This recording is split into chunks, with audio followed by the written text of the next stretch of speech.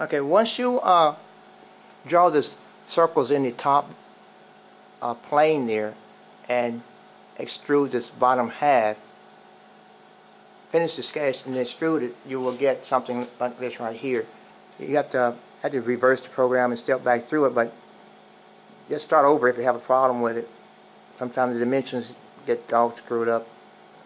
Okay, look at here. Now, you, once you once you click uh, Finish Sketch here, click Finish Sketch, and then you go to Extrude again. You you click on with the surface here. There you go. There's that part right there. You see how that extruded up that half circle there? And then you extrude this part here, and you got both. Move this out of the way. If you can see that, Okay. There you see your half circles have been, if, the, if that's not right, you just undo that and extrude the other parts of the circle. Let's see if that's right. You can rotate this around and take a look. You see that's that way, and then you you can pull these pull these downward back this way, down through the object. And then you look around here. You see the holes right there. Uh, right there. Move this down here. You see the holes right there. Can't see it.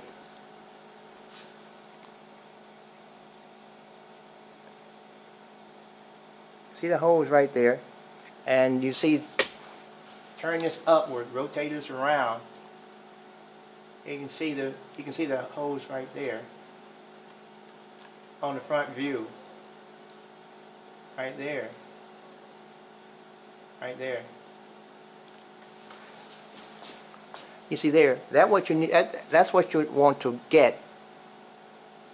And see what you watch me move that arrow up and down you can see the depth arrow. You can see the whole the whole depth changes like that, or you can come all the way through the other end. You see, what we want to go 2, 2.5. See the number changes over there on the right. You see the number, or you can just right there. It's 2.5.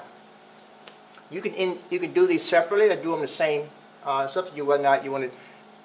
Uh, our sketch says one should be two and a half inches and one should be uh, 1.5 inches. So it's up to you how you want to do that. Alright. Check the green arrow, I mean the, the blue arrow there, and really you, you're done, except for putting your name on it. Okay, that's it right there. You rotate it around. The way you put your name on it is, uh, I'm going to try to do this right here in the front view here.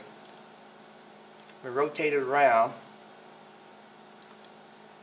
Let me see here.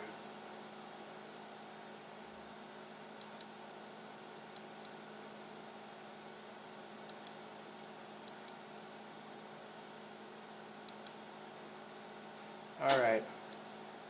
We want to put your name on this side right here. So on this side right here, you can check you uh since it's highlighted, check uh click new sketch, right click, right click on his face, go to new sketch and bring it down and you can put your name across here by finding your text tool. Your text tool is up here somewhere the letter A is text tool right there. Click on the letter A, and then you should come up with some sort of screen here, and then type in your name across there. You can use all kind of fonts and variations of it. So you click on the text tool, double click on there.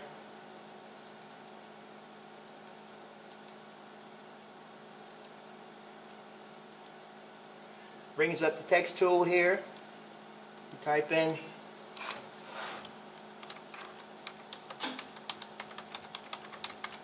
there and then you hit OK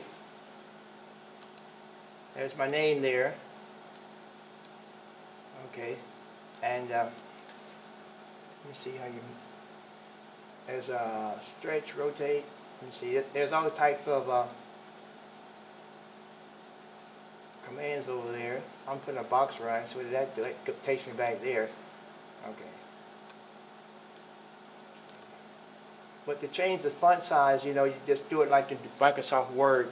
When you bring this back up, click, double click on it. This is your uh, model parameters, learn what they do. If you want to change the height of it, you, uh, you type in a height, maybe 0.5, give you a, a large. 0.3 is high enough. one. 0.3 is high, large. 0.3, hit OK.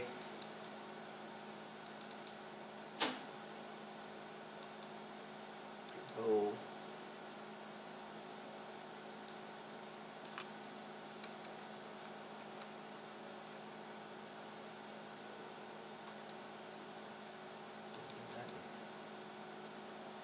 Let's see here.